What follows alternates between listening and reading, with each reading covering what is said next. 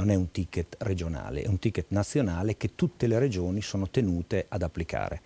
Noi, opponendoci fino al 4 agosto, data in cui abbiamo adottato la delibera di recepimento, abbiamo deciso di applicarlo con una modalità diversa, concordata con Toscana e Umbria, che ha il fine di evitare che paghi di più chi ha più bisogno e chi usa di più il servizio sanitario e viceversa chi contribuisca di più chi ha più risorse chi ha un reddito maggiore. Dal 29 agosto noi partiamo, poi siamo del tutto consapevoli che in tutti i processi organizzativi nuovi c'è una fase d'avvio in cui daremo tutto il sostegno e tutto l'accompagnamento ai cittadini per dare una risposta al caso specifico. Il cittadino che si presenta dal 29 agosto in farmacia con la ricetta,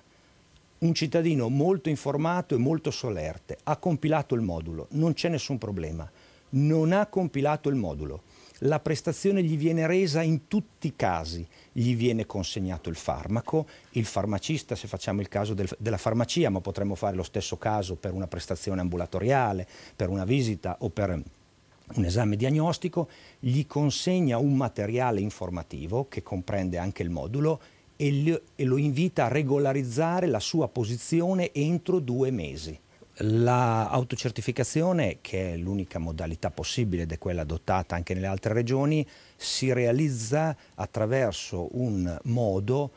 il più semplice possibile. È la compilazione di un modulo molto semplice, elementare, una volta sola.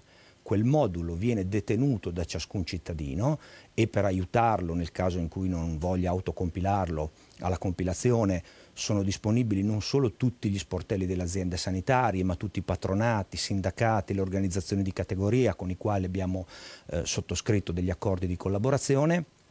Questo titolo, che è permanente, è il titolo di autocertificazione che identifica con chiarezza a quale fascia di reddito appartiene il cittadino. Quindi il cittadino non esente, perché naturalmente tutti gli esenti hanno già un titolo, hanno già una certificazione e quindi parliamo del 40% dei cittadini, i non esenti, avranno un titolo che insieme alla ricetta in qualsiasi sportello al quale accedano al servizio, sia per prenotare una visita, sia per effettuare un esame, sia per ritirare un farmaco,